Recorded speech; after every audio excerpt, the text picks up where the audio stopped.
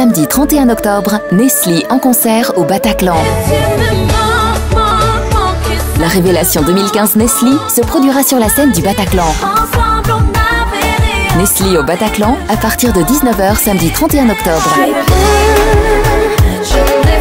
Nestlé en live, le concert de l'année à ne rater sous aucun prétexte.